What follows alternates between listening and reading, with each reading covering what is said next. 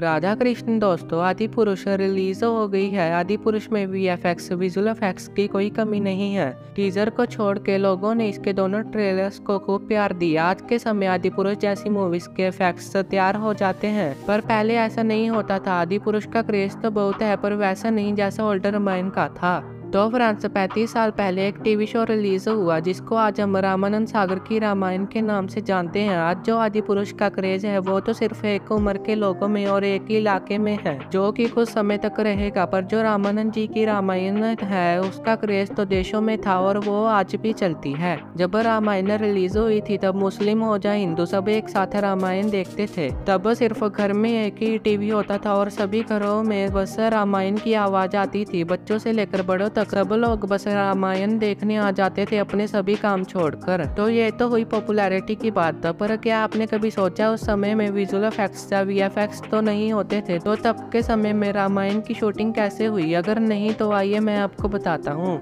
तो फ्रेंड्स सबसे पहले हम बात करते हैं हनुमान जी या किसी और करेक्टर के उठने की। तो फ्रेंड्स आदि पुरुष के ट्रेलर में तो आपने देखा ही होगा कि हनुमान जी हवा की गति से उड़ रहे हैं। पर उस समय में हनुमान जी नहीं उठते थे, सिर्फ़ उनके पीछे का बैकग्राउंड मूव होता था। उस समय ग्रोड को विजुअल इफ़ेक्ट के नहीं दिखा सकते थे, इसलिए किसी एक्टर को ग्रोड की ड्रेस पहनाकर एक्टिंग करवाई जाती थी। उस समय में कंप्यूटर नहीं होते थे, इसलिए सभी इफेक्ट्स कैमरा ट्रिक्स की मदद से क्रिएट होते थे। रामायण देखने से ही पता चलता है कि रामायण में रियर प्रोजेक्शन का खूब यूज़ हुआ था। यानी कि पर्दे पर बैकग्राउंड में कोई इमेज चल रही है और एक्टर्स उसके सामने खड़े होकर परफॉर्म कर रहे हैं। रामायण देखने वालों को याद होगा कि जब भी कोई फाइट होती थी, राम, रावण, लक्ष्मण, मेघनाथ तो पीछे लड़ रहे सैनिक अलग ही दिखते थे। ये सब रियर प्रोजेक्शन का कमाल था। रामायण में इफेक्ट्स ऐड करने के लिए कैमरा पर भी बहुत सारे खेल होते थे, जैसे बादलों को बनाने के लिए कॉटन का यूज़ होता था और धुंध को दिखाने के लिए अगरबत्ती को कैमरे के आगे रखते थे तो इसी तरह छोटी छोटी चीज़ों से इफेक्ट्स बनते थे। आपने देखा होगा कि जब हनुमान जी पहाड़ लेकर आते या कोई पेड़ उखाड़ते थे तो वो अक्सर एक्टर्स से भी छोटे होते थे तो इसी तरह सभी इफेक्ट्स दिखाई देते थे। वहीं पर आप आप आदि पुरुष के अनुमान देखें कितना बड़ा फ़र्क दिखता है। अभी तक जो था वो सब किसी न किसी तरह से दिखाई देता थे, पर जो तीर के आगे की सुपर पावर्स थी